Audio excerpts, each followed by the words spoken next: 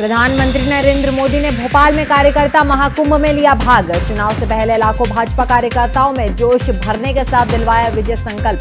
प्रधानमंत्री का सितंबर में मध्य प्रदेश का ये दूसरा दौरा।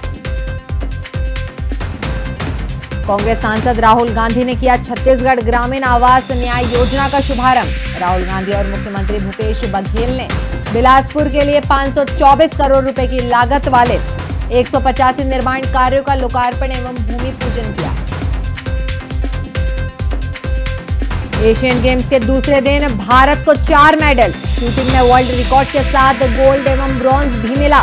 रोइंग में भारत ने दो ब्रॉन्ज जीते। एयर राइफल टीम इवेंट में ऐश्वर्य प्रताप सिंह, दिव्यांश सिंह और रुद्राक्ष पाटिल ने देश को दिलवाया पहला गोल्ड मेडल।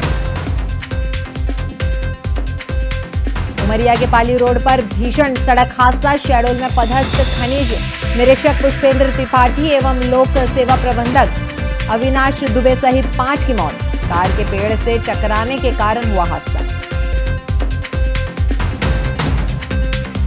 चार शुभ सहयोगों में डोल ग्यारस। जगह जगह निकलेंगे चल समारोह। मान्यता है कि इस दिन करवट बदलते हैं भगवान विष्णु। इसलिए इसे परिवर्तनी एकादशी भी कहा जाता है।